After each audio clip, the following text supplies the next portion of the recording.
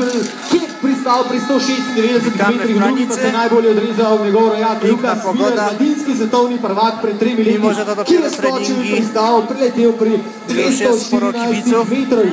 Od Slovencev je najprej ponesla Matica Kramaršiča do 203 metrov. Včeraj Matic Kramaršič, seveda v vlogi tistih, ki so preizkušali letalnico in seveda tudi današnje predletalce smo že videli in kmalo bo vse nared za prvo poizkusno serijo, ki se bo začela ob 9. uri. Co prawda nie jest bezwiecznie, ale wiatr jest naprawdę leciutki.